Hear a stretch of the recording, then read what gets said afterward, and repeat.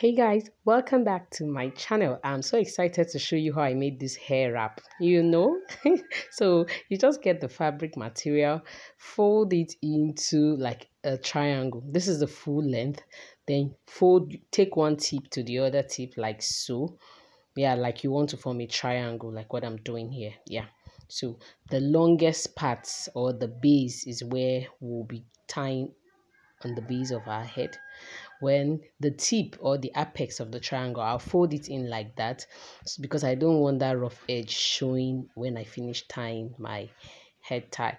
And notice how i already packed my hair. So this style of hair packing will help the style of the hair wrap to really come out nice. You know what i mean. Don't worry you will see.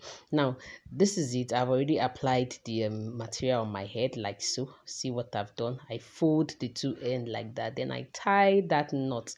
I make the knot just firm enough for my head. And you don't go and over tie it if you don't want to have headache you can keep that place empty if you want or not. Now the next step is to fold or roll it the way i'm doing like that enjoy yourself while you're doing it. Yes please enjoy yourself. Just continue continue folding it folding it. If you have not yet subscribed to my channel are you doing the right thing? No you are not. You're not doing the right thing. Please hit the subscribe button immediately.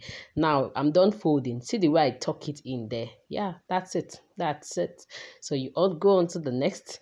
Keep folding the same way i did the other side just keep folding like that. Yes yes yes. Continue continue folding.